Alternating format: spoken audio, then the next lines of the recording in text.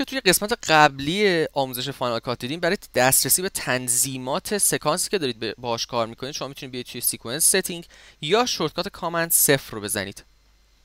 همونطور که توی درس قبلی دیدیم این تنظیمات تعیین می‌کنن که قاب شما و فریم شما اندازش چقدره و با چه آپشن هایی می‌تونید کار بکنید.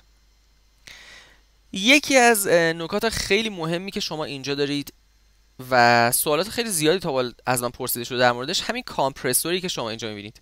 اینجا یک لیست بلند بالای چندین و چند عنوان هست. از انواع و اقسام کامپرسورهای مختلف. و خب شاید خیلی یه مقدار عجیب باشه که چرا اینقدر زیاده مثلا به چه دردی می‌خورن. واقعیت اینه که خیلی از این کامپرسورها وجودشون کاربرد آنچنانی نداره. من توی 8 سالی که دارم با Final کار می‌کنم تا به حال نشده مثلا از compressor BMP Cinepak یا component video برای sequence هم استفاده بکنم. ولی بعضیشون خیلی خیلی کاربردی. من از یکی از مهمتریناشون با توجه به اینکه ما تو ایران داریم کار می‌کنیم و سیستممون DV PAL شروع می‌کنم همونطور که شما الان اینجا می‌بینین این sequence من DV PAL هست 720 در 576 با pixel aspect ratio ی PAL. و field ش هم که روی lower ه یک نکته خیلی مهمی رو شما باید بهش توجه داشته باشید. اگر شما deck external دارید و می‌خواید از این سکانس خروجی بگیرید اگر deck شما سونی هست حتما باید روی DV PAL بذارید. و اگر پاناسونیک هست روی DVC Pro PAL. این دوتا compressor با هم هیچ تفاوتی ندارن. تقریبا با هم یکی هن. توی یه مواردی شاید DVC Pro توی compression های بالاتر مثل DVC Pro HD بهتر باشه. اما DVC Pro و DVC DVC Pro PAL و DV PAL واقعا کیفیتشون آنچنان با هم متفاوت نیست.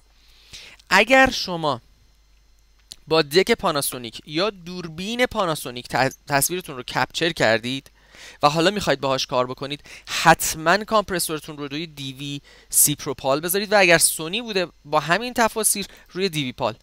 نکته که وجود داره اگر شما کارتون رو حالا انجام دادید و به فرض اشتباها دستگاه شما پاناسونیک روی DV PAL گذاشتید OK کردید و تموم شده. حالا اگر شما اینجا playback رو بزنید روی deck تون یا روی monitor external تون نمی‌تونید خروجی رو ببینید. به جاش یک تصویر سیاه نشون شما میده. و بالعکس اگر مثلا deck شما سونی باشه و شما روی DVC Pro PAL گذاشته باشید همین اتفاق تکرار میشه. همونطور که شما دیدید render های من یه سریش از بین رفت چون compressor رو عوض کردم. ولی اگر پاناسونیک اگه سونی باشه طبیعتا این DVC Pro که مال پاناسونیک هست رو سیاه نشون میده. و طبیعتا شما نمی‌تونید خروجی بگیرین این از مشکلاتی که من چندین بار دیدم پیش اومده. علی‌الخصوص الان که دوربین های HD HDV زیاد شده و ما با فرمت های مختلفی edit می‌کنیم کارمون رو. به طور مثال شما یه تصویر HDV گرفتید یا HD گرفتید و در نهایت می‌خواید خروجی PAL بدید برای اینکه توی تلویزیون پخش بشه. به طور مثال ما یه آگهی تلویزیونی کار کردیم. که حالا مثلا یک یه همچین چیزی بوده و HD کار شده بوده.